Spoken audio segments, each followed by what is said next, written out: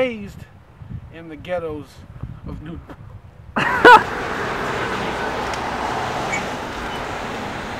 talk. You supposed to say. Another man's treasure.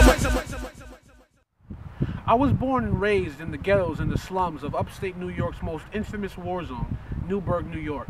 But upon my teenage years, my family came upon some money, and one of the first things they did, thankfully, was they relocated my education.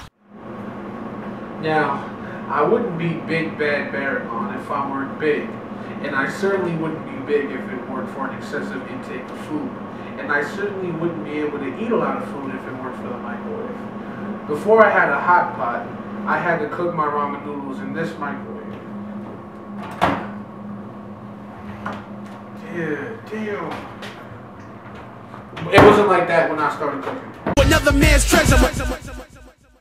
Finish it. So when oh, we you didn't do the second one yet. damn it, J. Oh, that's what you look like, J. Cole.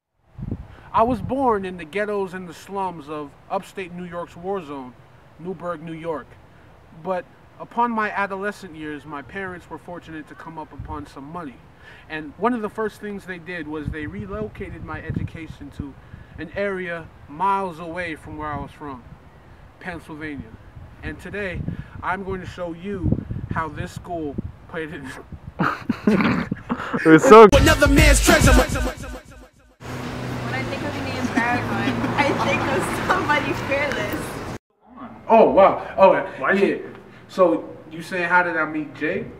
Oh man, um, see if I can remember. Okay, so you know you in high school, you know what I mean. It was my first time seeing white women, first time touching them. You know, I don't mean to sound like a pervert, but I never really came in contact. I saw them on TV, like you know Full House had a couple white women friends.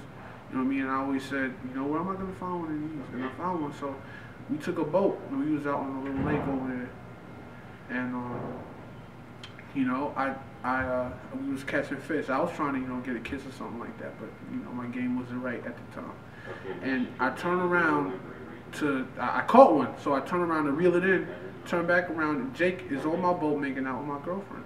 okay. And I said, I said, I said, wow. You know, I wasn't even mad because she looked like she was enjoying herself. So I was like, okay, you know what I mean? Cool. So we, I, I, I- I parked the boat on the shore, and then I said, hey man, what's your name? He's like, my name is Jacob. And ever since then, we connected because you going. Attention guys, if you are interested in signing up for the mission trip, the meeting is taking place right now in the library. Please hurry. Another man's treasure.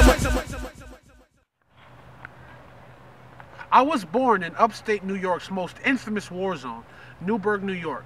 But upon my teenage years, my family came upon some money. And the first thing they did was they relocated my education from out of the inner city to suburban, peaceful Pennsylvania. And today, I'm going to tell you what role that school, that education, and those friends made in. That doesn't make sense. I had it, but I just, I was like, I was, I was about to screw up. Yo, you don't get your fat ass up and Alright, whatever, whatever, whatever. It's your brother man's pleasure to bring you another man's treasure. Much better than the competitors who were never as clever or measured up to me. They want none with me. I'm so short they tell scissors not to run with me. Shout out to my brothers B. That's the double T's.